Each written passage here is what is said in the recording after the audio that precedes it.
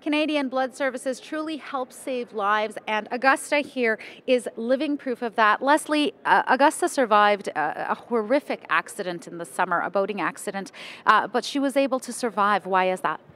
Because Canadians had given blood. Augusta lost three and a half times her blood volume on June 30th. She was airlifted to hospital and en route. Uh, they made an emergency landing in Barrie to get blood. And uh, to have your child almost dying in your arms and know the only thing keeping her alive is blood is, is the most horrific, but yet you are so grateful afterwards. She would not be here today if Canadians hadn't donated.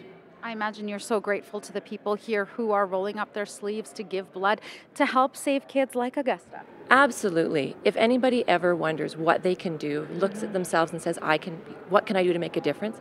It is this. It is giving blood because you never know when you're going to need it. And they are saving children like Augusta. When you hear about an accident, it, they need blood every time, every day. Someone needs blood. And of course, prior to Augusta's accident, how much did you know about Canadian Blood Services and really just how crucial these donations are? Did not understand it at all. Was one of the many people who says, "Oh, I should do that. I should give blood," and then.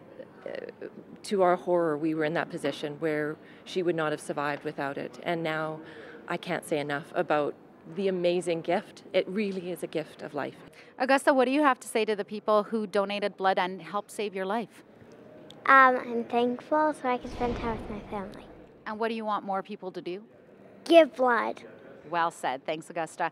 Go Calgary returns after this.